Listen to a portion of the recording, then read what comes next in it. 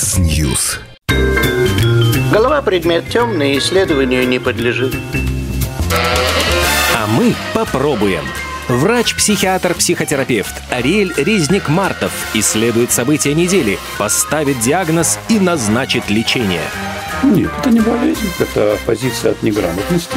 По понедельникам, когда нам особенно тяжело, в 16 часов лечебно-политическая и общественно-профилактическая программа «Диагноз недели». И тебя вылечат. И тебя тоже вылечат. Здравствуйте, уважаемые слушатели. Сегодня у нас с Вадимом Родионовым для вас есть интересная тема.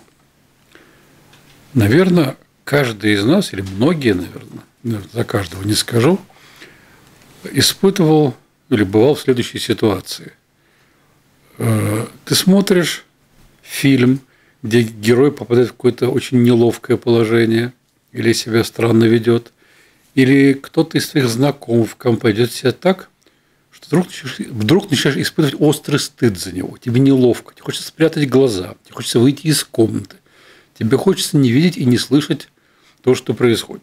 То есть ты чувствуешь стыд, но чувствуешь стыд не за себя, а за того парня. Да. Или не парня, в зависимости и от ситуации.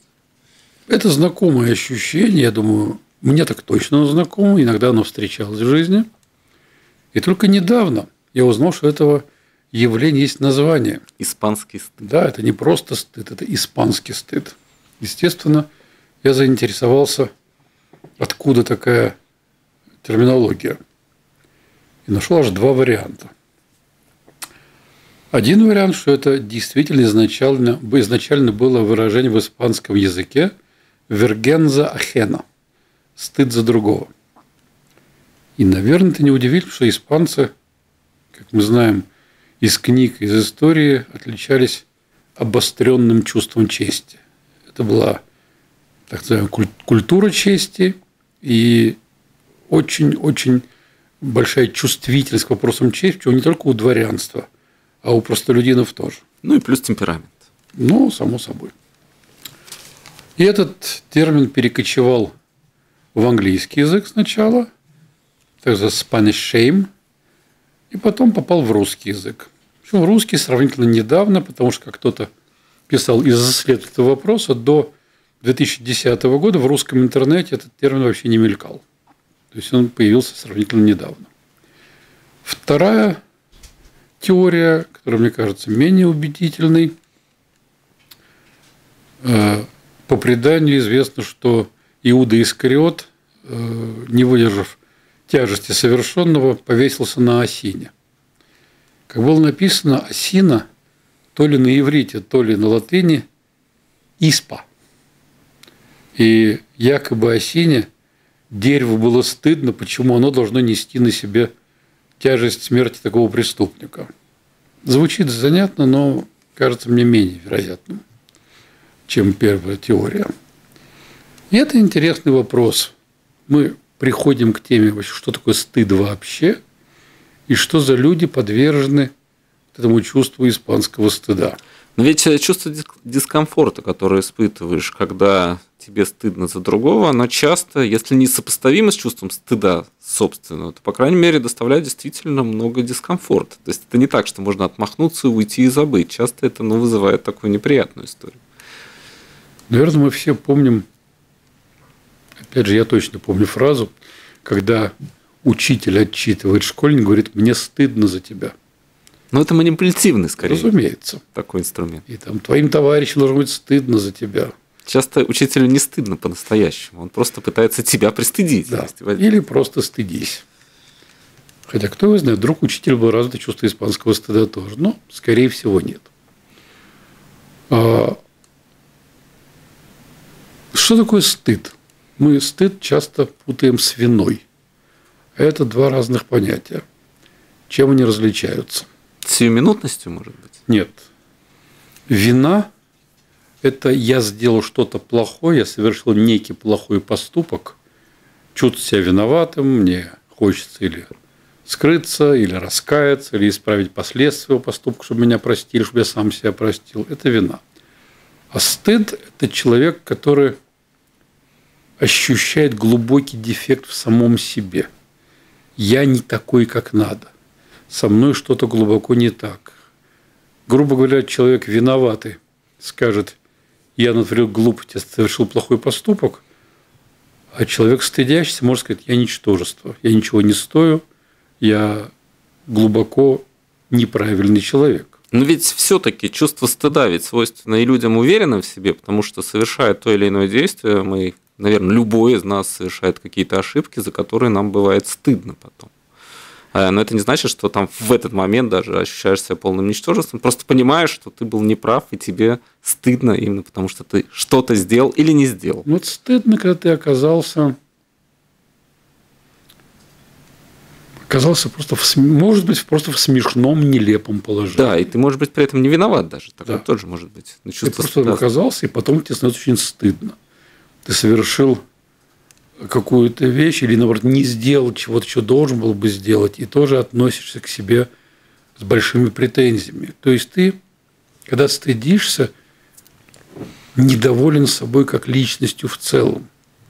И в этот момент тебе кажется, что достоин всеобщего осуждения, что с тобой никто больше не захочет разговаривать, что если бы люди знали, какой ты на самом деле, они бы отвернулись от тебя. Стыд очень мощная, очень мощная эмоция. Кстати, Но ведь не такая разрушающая, как чувство вины. Скорее проходящая. Я думаю, что это зависит от того, как и вина, и стыд. Наверное, почувствовать себя виноватым в чем-то не так уж разрушительно.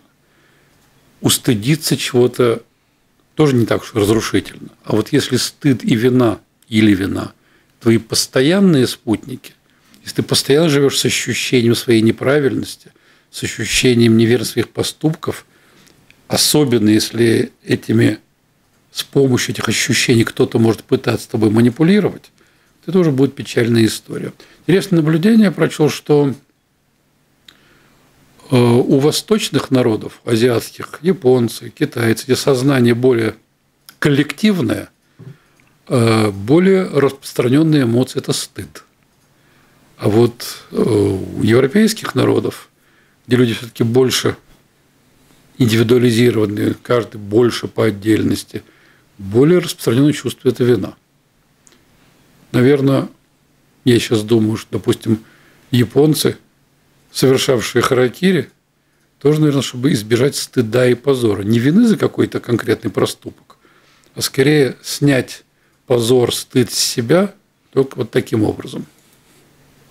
Но если говорить все-таки об испанском стыде, потому что если мы говорим о стыде, который ну, в общем-то, таком традиционном, то вот мы испытываем некий спектр э, чувств, связанных с собой, с тем, что мы сделали или не сделали. Что касается этого переноса на другого человека, там уже другие механизмы включаются, получается. Ведь мы не воспринимаем это через призму себя, то есть стыд за другого человека. Или все-таки воспринимаем? То есть наше внутреннее состояние тоже на это влияет? Смотрите, это опять, как всегда, зависит от того, что мы за люди – какая личность испытывает эту неловкость, стыд за чужой поступок. Я думаю, что, знаете, есть эти так называемые комедии положений, где герой попадает в дурацкие ситуации, где ему он оказывается в каком-то смешном положении. И мы себе легко можем представить людей, которые над ним искренне хохочут и даже слегка злорадствуют по этому поводу.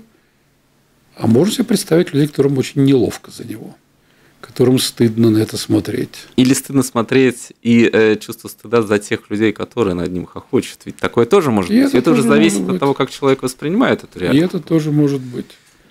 Но вы же знаете, сейчас очень модная история, к сожалению, она, боюсь, тоже манипулятивна, когда кто-то совершает высказывание на политическую тему. Ну, не знаю, мне стыдно, что я русский или мне стыдно, что я еврей, или мне стыдно, что я латыш, или американец, неважно. Вот это, с одной стороны, вроде бы человеку стыдно за кого-то, и, возможно, действительно стыдно.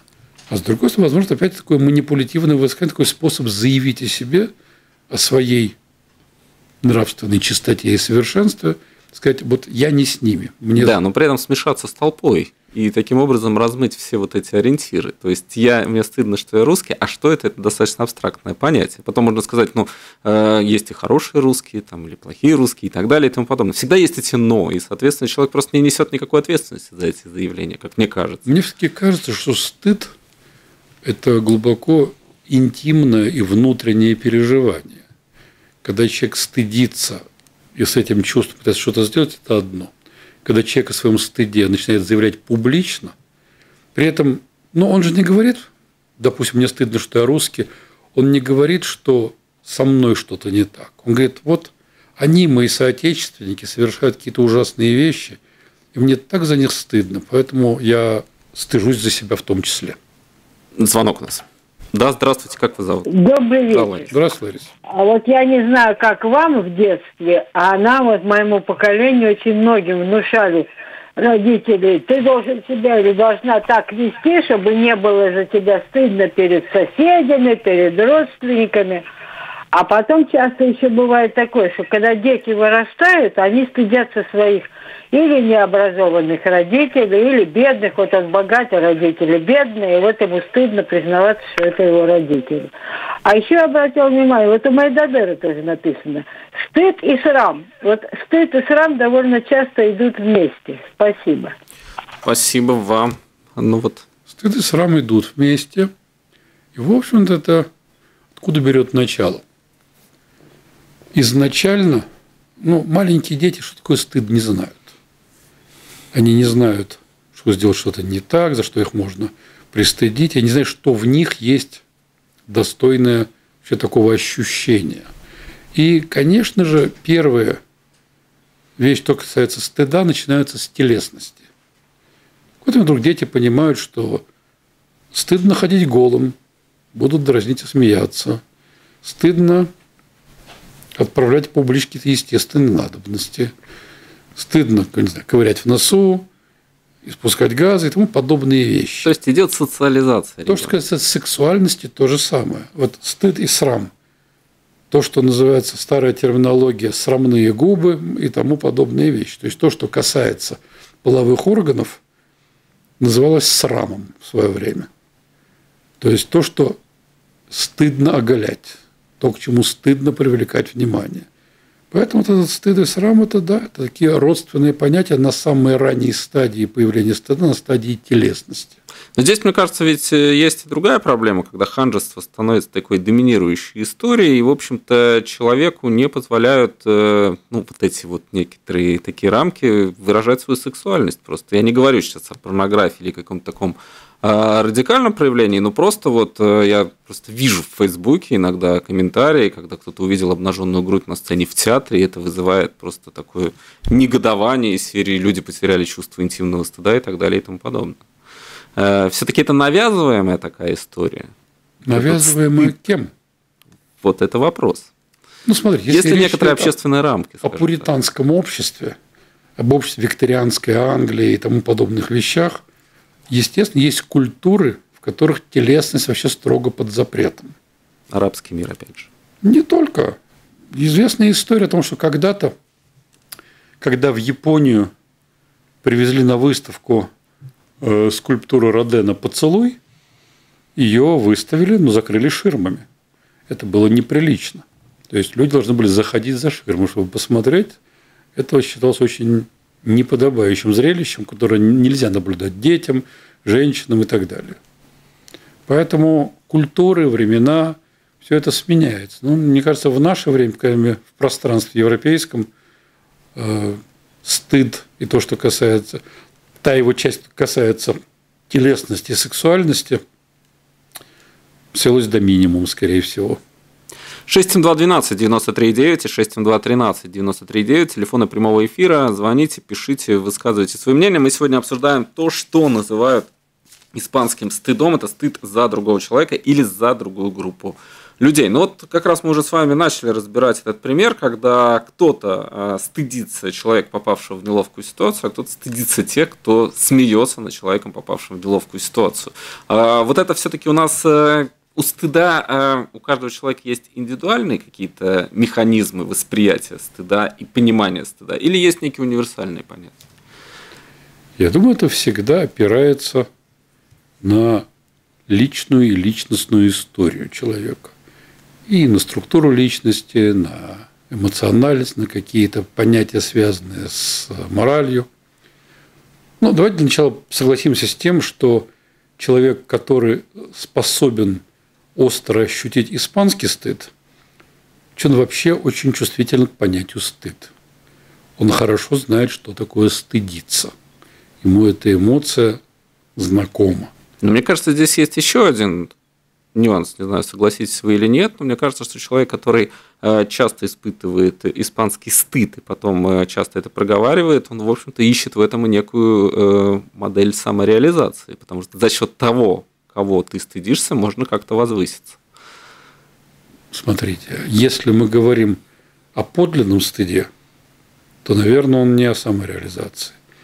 Если мы говорим о неком демонстративном утверждении, то же самое упомянутое, мне стыдно за тебя, мне стыдно, что у меня такой ребенок, мне стыдно, что у меня такой ученик, а вообще мне стыдно за все весь мой народ. Это, мне кажется, все, что озвучено публично, оно уже несколько демонстративно. Вот я просто помню одну телеведущую, неважно, как ее зовут, э, и многие коллеги ее воспринимали вот через категорию испанского стыда, потому что то, что она делала, было очень плохо. Но, тем не менее, э, многим именно нравилось вот это ощущение того, что она делает это настолько плохо, что глаз не оторвать. Вот это что тогда получается? То есть ты испытываешь чувство стыда, ну, я сейчас абстрактно говорю, но при этом ты смотришь это, потому что это интересно. Что же она сделает еще такого, что вызовет у тебя такие эмоции? Возможно, для кого-то испанский стыд тоже способ испытать некие острые ощущения. Причем достаточно безопасно. То есть да, даже, е- даже если себя мне выше. стыдно, я не буду опозорен в чьих-то глазах.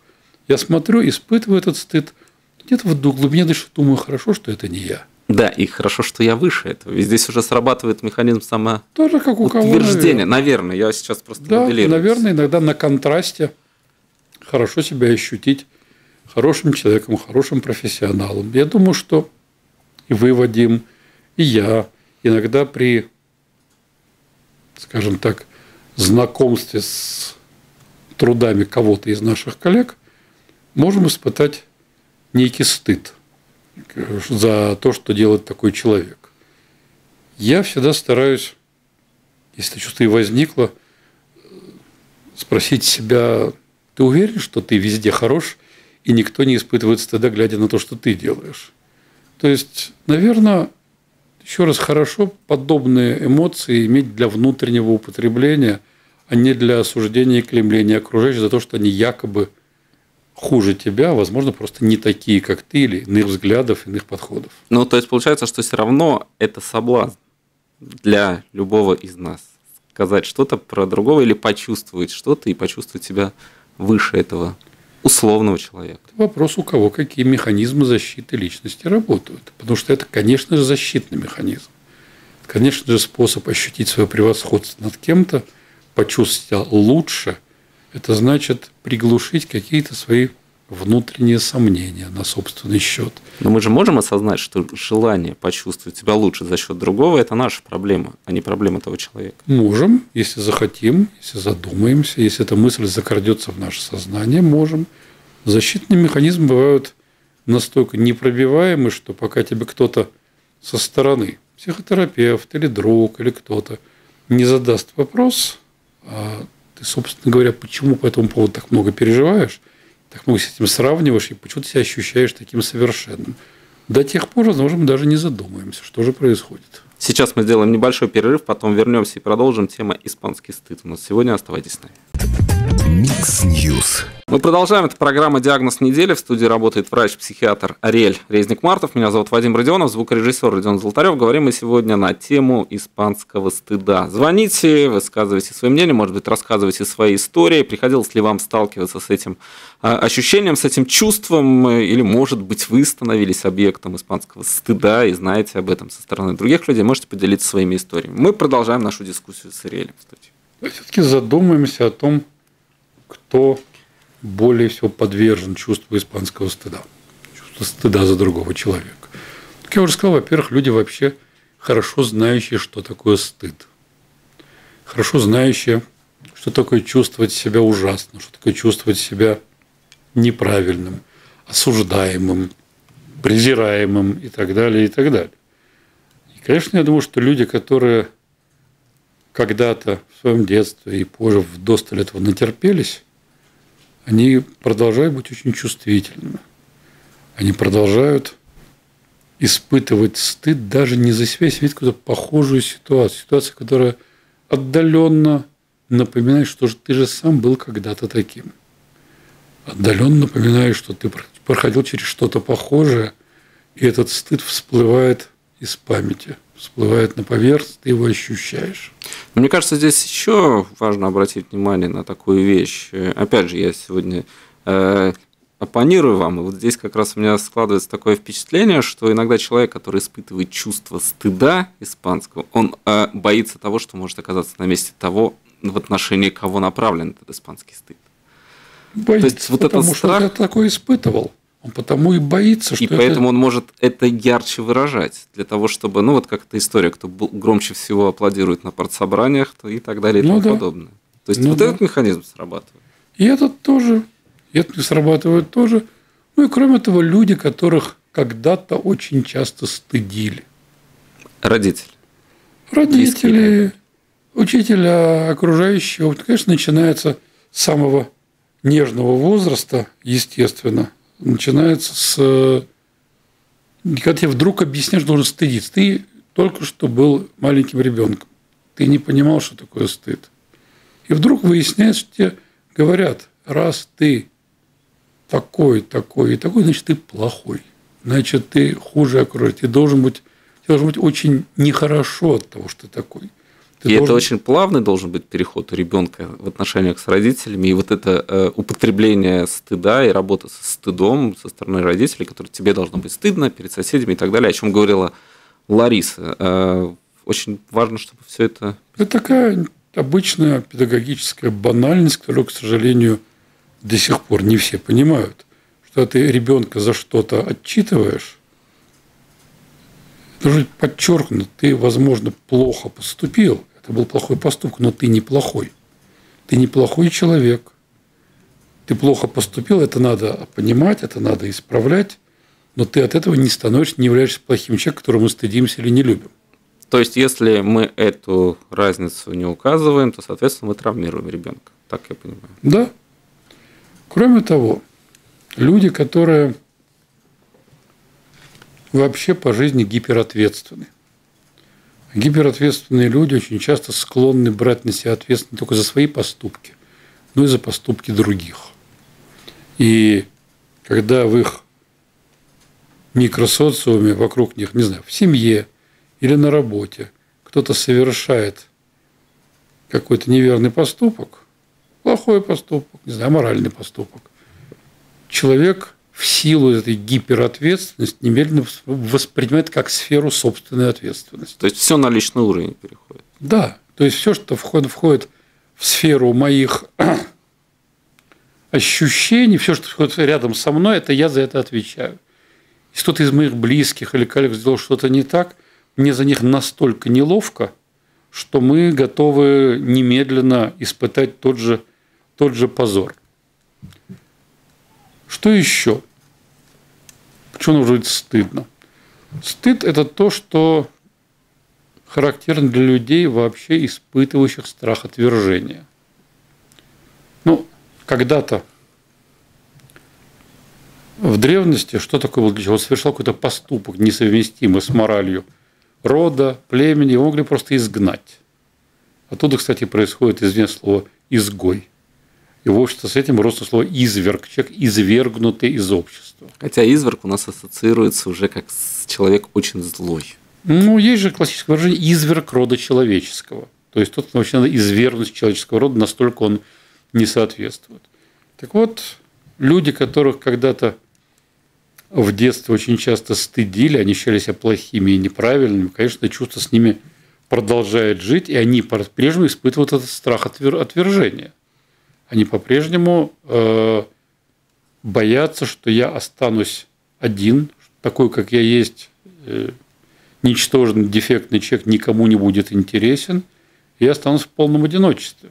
Но ведь э, чувство стыда часто сопровождается фразой «хочу провалиться сквозь землю». То есть «хочу исчезнуть и хочу спрятаться». И желание забиться в этот момент в угол, в темноту там, и так далее, отсидеться, переждать, пережить. Ведь э, она свойственна стыду как раз. А, казалось бы, это несколько противоречит тому, что вот человек боится отвержения, в какой-то момент он просто хочет исчезнуть. Ну, провалить, как говорят, хочу провалиться под землю от стыда. Вот да. это распространенное выражение. Вот это оно и есть. Кроме того,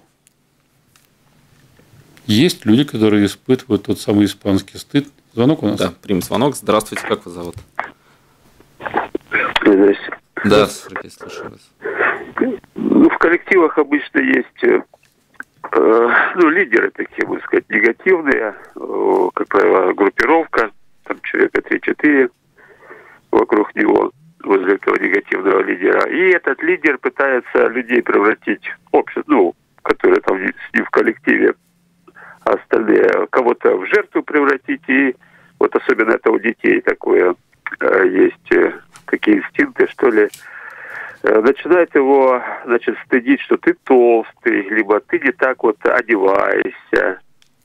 То есть ребенок не виноват, ну, человек, да, который включил жир, он не виноват, он нормальный, да, но ему говорят, что ты толстый, чтобы ты стеснялся, чтобы ты стыдился.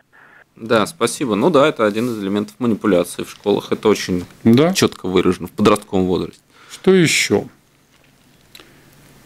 Испанский стыд часто бывает, когда речь идет о человеке из близкого нам окружения, за которым мы себя в той или иной мере считаем ответственным. То, что вы упомянули, стыдно за неталантливого, бездарного журналиста – то же самое. Мы из одной корпорации профессиональной. Потому что это нас касается. Да, мы из одного цеха, поэтому очень легко себя к этому примерить. Или это член семьи, или это кто-то еще из тех, кто тебе близок, или кто-то из ближайших друзей, допустим.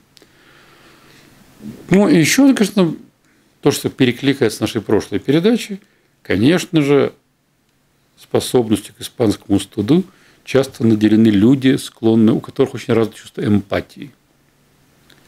То есть, что которые такое? могут сопереживать. Да, эмпатия. Что такое ощущение чувств другого человека? Когда мы понимаем, мы очень к этому восприимчивы, очень тонко это чувствуем. Поэтому, если мы видим этого человека и совершенно точно себе представляем, как он себя чувствует, это отражается на нас тоже. Тоже эмпатия, которая делает нас в чем-то очень уязвимыми. Эмпатия что такой инструмент очень интересный. Через чужую боль мы многое можем понять. Ну, наверное, работа в психотерапии тоже важна. Эмпатия, которая позволяет тебе ощутить, что же чувствует человек. Я вспоминаю такая ситуация, это О. Генри, который сидел в тюрьме, описывались разные его сокамерники, и один из них был взломщиков сейф медвежатником. И как он взлом было очень интересно.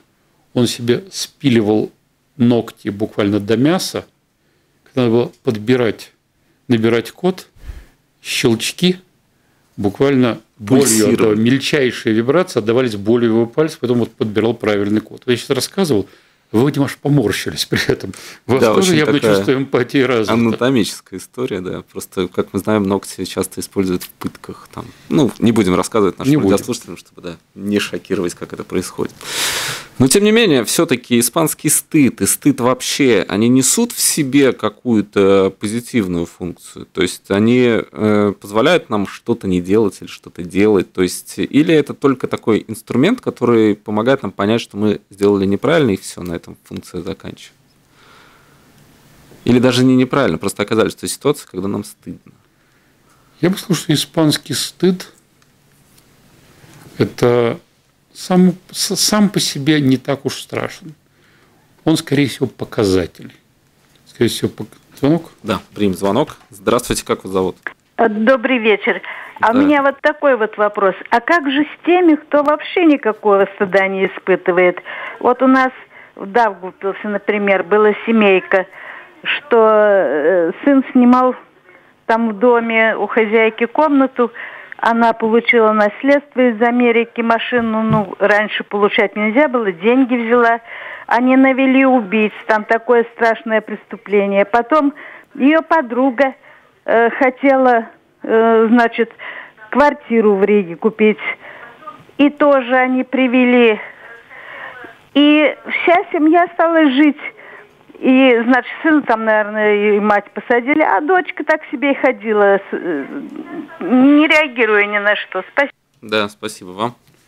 Я думаю, что люди, когда абсолютно лишены стыда, это, конечно, некий моральный и эмоциональный дефект.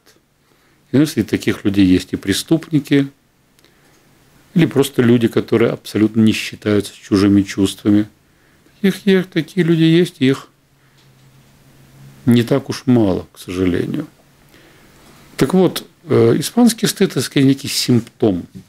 Симптом того, что у человека чувство стыда очень развито. Кстати, у стыда есть масса определений очень древних. Например, одно из самых древних, древних определений было аж у Платона. Стыд – это страх дурной молвы. У Аристотеля было схожее определение. И где-то, кстати, нашел определение, хочу позволить его зачитать, оно короткое, написано одним э, ученым.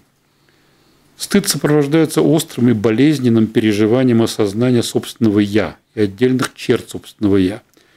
Человек кажется маленьким, беспомощным, скованным, эмоционально расстроенным, глупым, никуда не годным и так далее. Стыд, это важно, мне кажется, сопровождается временной неспособностью мыслить логично и эффективно – а не редкое ощущение неудачи и поражения. Пристыженный человек не в состоянии выразить словами свои переживания. Позже он обязательно найдет нужные слова и будет вновь и вновь представлять себе, что он мог сказать в тот момент, когда стыд лишил его дара речи. Как правило, переживание стыда сопровождается острым чувством неудачи, провала, полного фиаско. Это чувство вызывает уже сама неспособность мыслить и самовыражаться в свойственном нам стиле. Стыд порождает особого рода отчужденность, Человек очень одинок, когда сгорает в пламени стыда, не в силах спрятаться от пронзительного взора собственной совести. Он действительно отчужден от окружающего, хотя бы в том смысле, не в состоянии так же, как прежде, запросто обратиться к другому человеку, перекинуть с ним ничего не значащими фразами. Вот, вот то, о чем мы говорили, ощущение изгоя. Ты настолько плох, что ты не вправе претендовать на близость с кем-то, не вправе претендовать на то, чтобы быть частью своей семьи, своей компании, своей профессии, чего угодно. Ну, стыд, как мне кажется, действительно обостряет чувство одиночества. То есть он в этот момент изолирует себя от всего мира. Да. Я думаю, что опять тут приходят к нам на помощь различные способы психологической защиты. Один из них называется генерализация, обобщение. Не я один такой, все такие. Мало не ты таких. первый, не ты последний. Да, если бы не я, то сделал бы кто-то другой то же самое. Ну или известная защита, когда, э, которую часто высказывают военные преступники, мы просто выполняли приказ. То есть это нужно на кого-то передать это? Да, мне нечего стыдиться. Да, я так поступил не потому, что я плохой человек, а потому что у меня было свое начальство, а приказы не обсуждаются. Но это попытка все-таки избавиться от стыда или от чего-то больше? Вот этот перекус перенос? Ну, я думаю, наверное, когда это звучит, чаще всего это попытка избежать некой юридической ответственности, но чаще это попытка избежать осуждения и чужого, и собственного, оправдаться. Еще звонок у нас. Здравствуйте, как вас зовут? Здравствуйте, слушаем вас. Алло. Да, как вас зовут? Здравствуйте. Э, Сергей, я отвалился, наверное, в прошлый раз. Так вот, что делать жертве, которую ложно обвиняют в чем-то, чтобы она стыдилась? Вот как ей вести с психопатами, с социопатами, вот с нарциссами? Да, спасибо вам. Еще в данном случае, если жертва не в состоянии себя защитить сама, жертва, человек должен сказать поддержки у тех, кому он доверяет, у своей семьи, у своих друзей. В конце концов, если это преследование – достигает уровня опасного у каких-то органов правопорядка. Когда человек не ищет защиты, человек не ищет, вот тогда все действительно плохо, потому что, возможно, он поверил в то, что он хуже всех, в то, что он отверженный и не заслуживает э, ни сочувствия, ни помощи, ни заботы. Но, наверное, это должно дойти до предельного состояние. И все-таки мне кажется, что в нормальном коллективе, даже в классе, ну, хоть кто-то должен находиться, кто пытается защитить и поддержать. И уж точно, я думаю, адекватные педагоги должны видеть, что происходит в такой ситуации и вмешиваться. Но здесь еще, мне кажется, есть один аспект. Э, жертвы изнасилования часто э, не обращаются именно по причине того, что им стыдно. То есть они да? чувствуют себя виноватыми в том, в чем они абсолютно не виноваты. И вот это вот такой парадокс. Да, это, к сожалению, ну, я надеюсь, сейчас, сейчас это уже реже, потому что это достаточно давно говорят и пишут.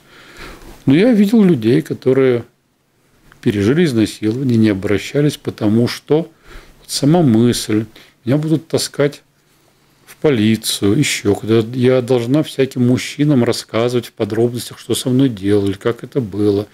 И часто, кстати, такое бывало, человек, может, сам бы и пошел, но есть родители, которые испытывают все тот же испанский стыд, что о нас скажут, что о нас подумают. Лучше промолчать и так далее. Поэтому, к сожалению, не всегда у людей есть защита, хотя хотелось бы, чтобы была, конечно. Но почему в данной ситуации нередко включается вот эта история, что человек чувствует себя виноват? Ну, во всяком случае, приходится слышать такие э, рассказы от жертв изнасилования. Есть хорошее слово «оскверненный». Кстати, я замечал, что даже, ладно, изнасилование – это действительно ужасная травма, ужасное преступление. А люди, у которых побывали дома воры и что-то украли, я слышал, я себя чувствовал, что мою квартиру осквернили. Кто-то чужой копался в моих вещах. Я в этом месте я не буду же чувствовать, как раньше. И это квартира. А если представить, речь идет о человеке, ну, если мы помним, допустим, древнеримскую историю, где э, то ли царь Тарквиний гордый, то ли его сын изнасиловал девушку, не женщину по имени Лукреция, э, и она рассказала об этом своему мужу, но потом покончила с собой, потому что жить с таким позором больше не могла. Что привело к свержению царей в Древнем Риме, если верить легендам? Еще звонок. Здравствуйте, как вас зовут? Добрый день, меня зовут Петр. Да, слушаю вас. Вот мне такое ощущение, что вы смешиваете два понятия. Чувство вины и чувство э, стыда. Я думаю, что это разные понятия. Вы все время это говорите все о разных понятиях в одном и том же высказывании. Спасибо. Да, спасибо. Ну, Петр, если слушать нас с самого начала, то я уже в начале передачи озвучил разницу между виной и стыдом. Поэтому я их не путаю, но для вас специально повторю еще раз. Вина – это когда человек стыдится совершенного плохого поступка. Прися говорит, я плохо поступил, я ужасно поступил. Стыд, когда человек испытывает какую-то более глубокую ядерную эмоцию «я плохой», «я ничтожный», «я ужасный», «я посмешищий» и тому подобное. То есть в одном варианте идет характеристика поступка, а в другом характеристика собственной личности. И в этом есть принципиальная разница. Еще звонок. Здравствуйте, как вас зовут? Да, добрый день. Интересно, ваш собеседник всегда приятный. Э, и собеседник, человек заметил, что вот эта оскверненность, да, она воспринимается людьми лично. И, наверное, хорошим терапевтическим методом было бы э, с подобных поступков, как там, например, там кража, э, воровство, снимать этот личный аспект. Что я был свидетелем того, как человеку, которого обворовали квартиру, да, и который реально почувствовал, что его место было осквернено, ему сказали, ну, чувак, это, конечно, утешение слабое, но э, можешь утешиться тем, что в их действиях не было ничего личного. И вы знаете, человеку стало легче. Может быть, наверное, вообще по жизни надо поменьше привязываться к материальным вещам, и тогда будет легче воспринимать тут если что-то случится. А так, э, это первое, что я хотел сказать. А второе, э, чувство стыда, это вообще, мне кажется, это перенос вины человека, который действительно сделал что-то нехорошее, на себя. Такое ощущение, что будто бы ты это сделал, и тогда тебе есть за что чувствовать себя виноватым, это очевидно и есть стыд. Спасибо, хорошего дня. Да, спасибо, спасибо. вам. Ну, это была последняя фраза как раз об испанском стыде, о переносе чувства стыда, то, о чем мы говорим. Я думаю, что, скажу, банальность везде важно чувство меры. Иногда ощутить стыд – это хороший повод к себе прислушаться. Это хороший повод присмотреться и задуматься. От чего мне стыдно, а чего я ощущаю себя плохим человеком. Уж тем более, это стыдно за кого-то. Это тем более хороший повод прислушаться, почему, не совершив ничего ужасного, я должен испытывать стыд. Вот самоанализ – прислушивание к себе очень полезный механизм в любых ситуациях. Еще звонок у нас. Здравствуйте, как вас зовут? Добрый вечер, как всегда опоздал. Не знаю, что до этого говорилось, но все-таки в самом деле тут немножко все накладывается. Стыд – это не обязательно поступок. Э, стыдно и вина – это э, вина в чем-то против кого-то, если другие, перед другими людьми вина, перед э, свои совершенные поступок нанес ущерб кому-нибудь, это вина. Я сбил человека, это вина. Я что-то оскорбил, это вина. А чувство стыда бывает просто э, не, никто не обижен, ничего, но просто стыдно за свое поведение. Может быть, оно нестандартное, чужое. Оно не всегда бывает связано, оно немножко все-таки разное. Сама какая ситуация, поэтому здесь все сложнее немножко. И смешивать все-таки стыд с этим не обязательно что они разные, но они не обязательно к людям каким-нибудь. Да, ну вот вы не сначала слушали, просто да. уже повторяли эти тезисы. А, спасибо, тем не менее, за то, что позвонили. Ну вот у нас минута остается для того, чтобы подытожить наш эфир. А, испанский стыд мы сегодня на протяжении часа обсуждали. Я думаю, что я, наверное, повторюсь. Что испанский стыд, что обычный стыд? Это повод о себе задуматься. Потому что мне кажется, в любом случае, если я ощущаю себя, если обычно стыд, если я ощущаю себя ужасным, отвратительным человеком, даже если я такой, у человека осознание этого хороший способ понять себя и измениться.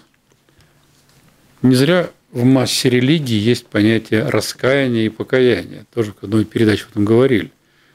А если я осознаю, что я ужасен, считаю себя ужасным – значит, я работаю над собой и меняю это. Если я переживаю за другого человека и стыжусь кого-то, я что сделал плохое, это тем более способ к себе прислушаться, не ощутив себя ужасным, что намного приятнее и легче. Ариэль Резник-Мартов, это была программа «Диагноз недели». Я с вами не прощаюсь, мы встретимся через час в программе «Вечерний интерактив». Ариэлю говорим до свидания, до следующей недели. Всего доброго. До свидания.